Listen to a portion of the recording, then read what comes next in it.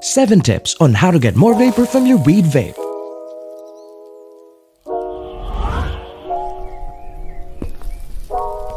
Were you expecting to get thick, mighty, voluminous clouds from your dry herb vaporizer but only getting thin wispy vapor? There are many different factors that could prevent you from getting the clouds you want.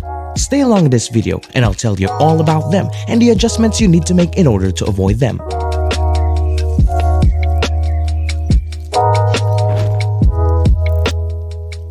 Luckily, most of the time, a simple adjustment would do the trick and make your experience 10 times better. Proficient usage of your herbal vape is essential for enjoyable vaping. Most of the time, trial and error is your best bet on figuring things out. The following vaping tips and advice will help you get more vapor from your dry herb vaporizer and set you on the right path. Of course, an obvious tip is to use a good vaporizer. Otherwise, none of these tips would work. So let's jump into tip number 1.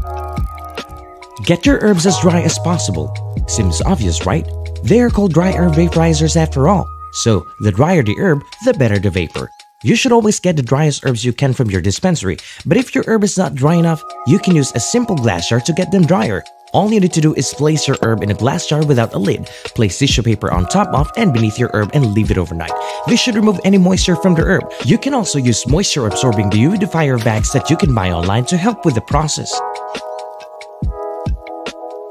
Tip number 2. Grind it up.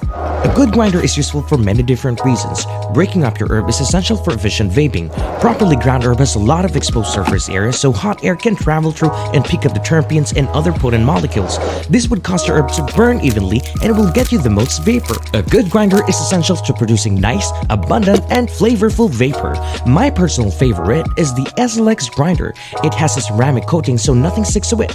It turns as good as new even after a year of heavy use and zero cleaning. So whether SLX or another use a high-end grinder to grind your herb finely and evenly. You'll find the link on the description below to check the SLX grinder. Tip number 3. Pack the perfect oven. Most weed vapes have specific instruction on how much herb should be placed in the chamber, but a general rule of thumb is to pack a full and fluffy oven. The reason is that dry herbs works best when the heated air can pass through the ground herb and heat it up evenly. In addition to getting better vapor, you will also get better flavor and potency because you will be extracting more of the active substances in the dry herb. Packing a fluffy oven will lower the draw resistance so you don't have to inhale as hard from the mouthpiece.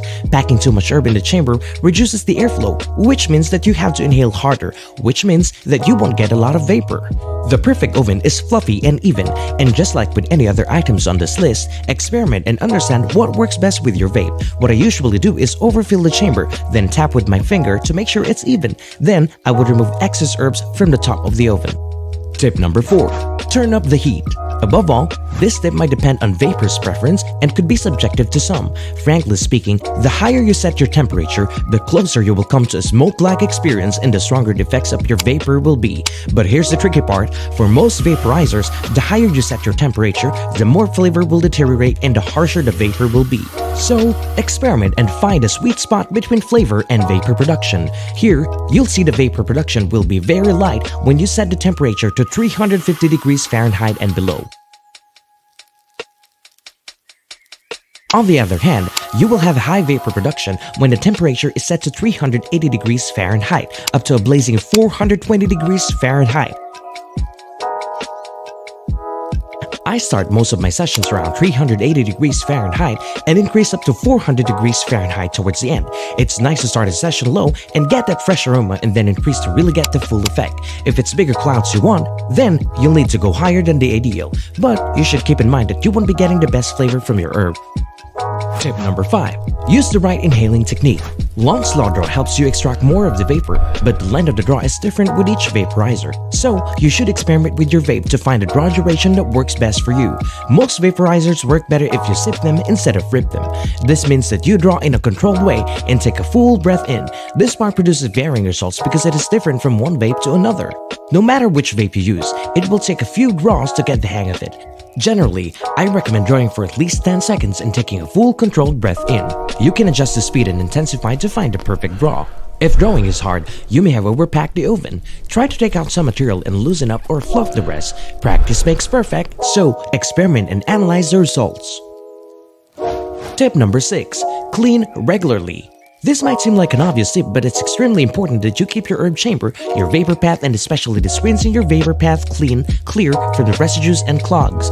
Most vaporizers can easily be cleaned with isopropyl alcohol or Q-tips dipped in isopropyl alcohol. I strongly recommend cleaning your vape right after a session.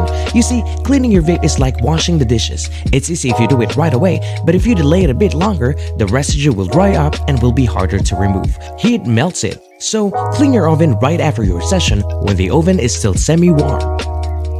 Lastly, let your vape sit for a while. Another good thing to do in conjunction with all of the mentioned techniques is to wait 20 or 30 seconds after the vape has reached a temperature you selected and then start inhaling. Or during a session, you can wait 10 to 30 seconds between draws. The reason for waiting in either case is to let heat build up in the oven. If you combine this with the above draw technique, you can significantly increase the amount of vapor you produce. These tips will help you up your weed vaping game and will improve vapor production, flavor, and reduce draw resistance. Do you have other tips that I did not mention in this video?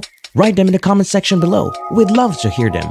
If you learned something new, be sure to like and subscribe to our channel and get more tips and tricks that will kickstart your vaping game. Thanks for watching and happy vaping!